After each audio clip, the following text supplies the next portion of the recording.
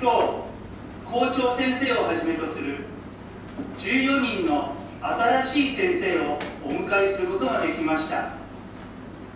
とても嬉しいですね。お話ししないようにしてすぐ保健室に行ってください。